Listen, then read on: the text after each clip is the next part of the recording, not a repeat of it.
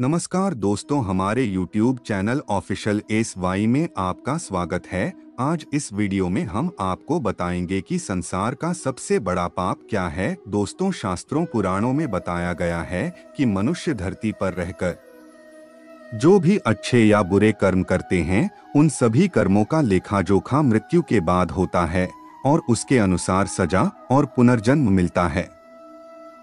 ईश्वर की दृष्टि में जो अच्छे कर्म यानी आपके काम होते हैं, उसे पुण्य कहा जाता है और जो बुरे कर्म होते हैं, उन्हें पाप कहा जाता है।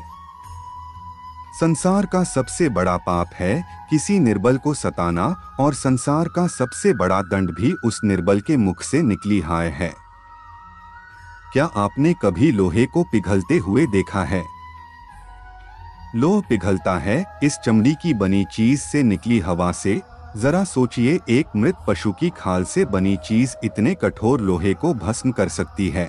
ठीक उसी प्रकार आप चाहे जितने भी शक्तिशाली क्यों न हो, यदि आपने किसी निर्दोष या निर्बल को सताया तो उसके मन से निकली हाय और उसका श्राप आपके जीवन को भस्म कर सकता है। पुराणों में कई अच्छे और बुरे कर्मों के बारे में बताया गया है।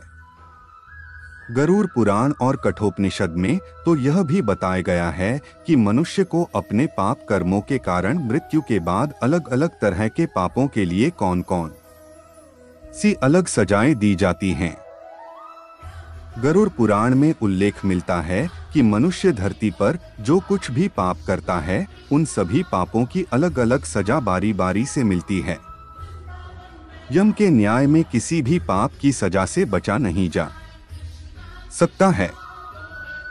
गरुण पुराण में बताया गया है कि परस्त्री पुरुष संबंध रखने वाले को लोहे के गर्म सलाखों को आलिंगन करवाया जाता है।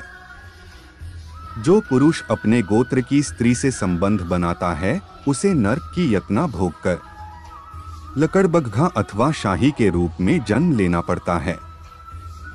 कुंवारी अथवा अल्पायु कन्या से संबंध बनाने वाले को नर्क की घोर यातना सहने के बाद अजगर योनि में आकर जन्म लेना पड़ता है। जो व्यक्ति काम भावना से पीड़ित होकर गुरु की पत्नी का मान भंग करता है, ऐसा व्यक्ति वर्षों तक नर्क की यातना सहने के बाद गिरगिट की योनि में जन्म लेता है। मित्र के साथ विश्वासघात करके उसके पत्नी से संबंध बनाने वाले को यमराज गधा। की योनि में जन्म देते हैं। लेकिन व्यभिचार और धोखा देने से भी बड़ा एक पाप है, जिसकी सजा कठोर है।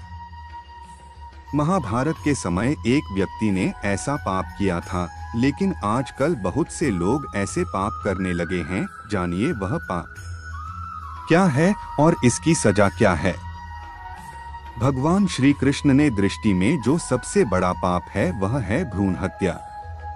महाभारत युद्ध समाप्त होने के बाद, जब द्रोणाचार्य के पुत्र अश्वत्थामा ने उत्तरा के गर्भ में पल रहे, बालक परीक्षित पर ब्रह्मास्त्र का प्रयोग करके उसकी हत्या कर दी, तब भगवान श्री कृष्ण सबसे अधिक क्रोधित हुए थे। श्री कृष्ण ने उस समय समय ही यह घोषणा कर दी थी कि अश्वत्थामा का पाप सबसे बड़ा पाप है, क्योंकि उसने एक अजन्मे बालक की हत्या की थी। श्री कृष्ण ने इस पाप की सजा स्वयं अश्वत्थामा को दी थी। हम जिसका ज़िक्र यहाँ कर रहे हैं, उस पाप की सजा व्यक्ति को जन्म जन्मांतर तक झेलनी पड़ती है।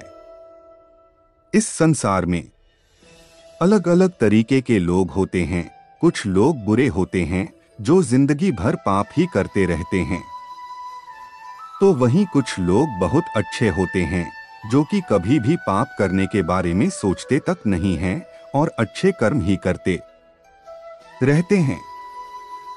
मुरलीधर ने कहा था कि संसार का सबसे बड़ा महापाप किसी औरत की इज़्ज़त से खेलना है। जो व्यक्ति किसी औरत की इज़्ज़त के साथ खेलता है, वह इस दुनिया का सबसे बड़ा पाप करता है। नारी शक्ति ऐसी शक्ति है, जिसका अंदाज़ा लगाना बहुत ही मुश्किल है। नारी को संसार में सबसे ज़्यादा पूजनीय माना गया है। नारी का अपमान पूरे ब्रह्मांड को बर्बाद कर देने के बराबर होता है। संसार में नारी हर रूप में अपने बच्चे का पालन पोषण करती है, जिसे हम प्यार की भाषा में माँ कहते हैं। यही नारी अलग अलग रूप में ममता का सागर होती है। वह कभी माँ, कभी पत्नी कभी बहन हर रूप में केवल स्नेह और ममता ही बांटती हैं। हर ग्रंथ में कहा गया है कि नारी का सम्मान करना चाहिए।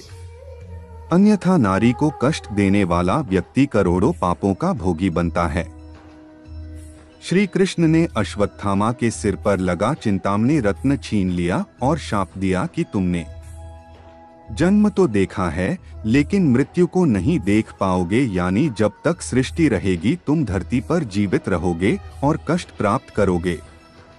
भ्रूण की हत्या करने वाले के लिए सबसे कठोर सजा निर्धारित है, और ऐसे व्यक्ति को कई युगों तक इस सजा का दंड भुगतना पड़ता है। तो दोस्तों, यह वीडियो आपको कैसी लगी हमें कमेंट बॉक्स में ज़रूर बताएँ और हमारे चैनल ऑफिशियल एस वाई को लाइक, सब्सक्राइब ज़रूर करें। धन्यवाद।